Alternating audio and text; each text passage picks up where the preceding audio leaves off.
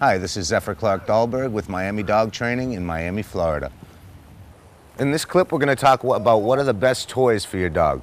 Now, um, you know, you can go to the pet store and they always have a million toys, a million colors. Well, dogs are colorblind anyway, so don't take much thought about the colors.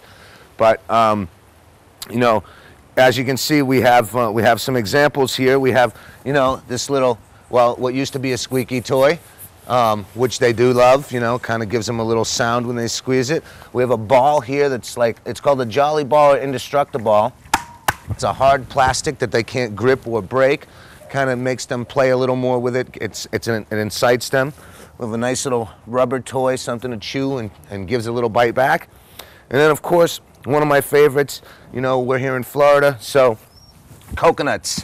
One of the best balls you can buy because, you know, not only are they good for the dog's uh, teeth, you know, they act kind of like a dental floss as he chews. And then we have a nice plastic Gatorade bottle there that's hard for them to pick up. And, uh, and they love, right? They love the coconuts even more. There's a nice little treat inside and it takes, you know, they have to work to get it. This has been Zephyr Clarke-Dolberg with Miami Dog Training.